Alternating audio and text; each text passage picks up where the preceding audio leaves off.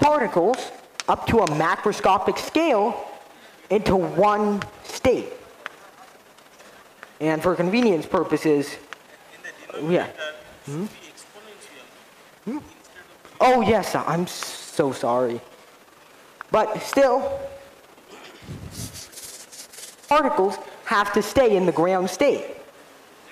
And if a macroscopic amount of particles stay in the ground state, which is something that can be observed using classical equipment, that would essentially confirm that all of Bose's statistics was correct, and also essentially invent a new state of matter. For how particles act in the ground state is not how they're normally supposed to act.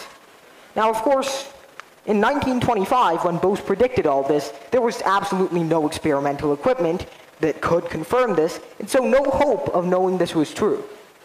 And unfortunately, it would take more than 70 years, and if a macroscopic amount of particles stay in the ground state, which is something that can be observed using classical equipment, that would essentially confirm that all of Bose's statistics was correct, and also essentially invent a new state of matter.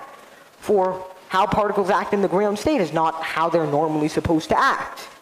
Now, of course, in 1925, when Bose predicted all this, there was absolutely no experimental equipment that could confirm this, and so no hope of knowing this was true.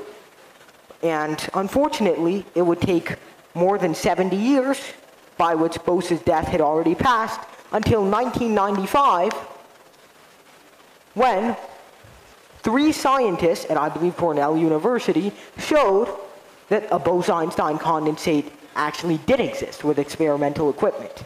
And in 2001, they, those three won the Nobel Prize that Bose himself should have gotten for the discovery of the Bose-Einstein condensate.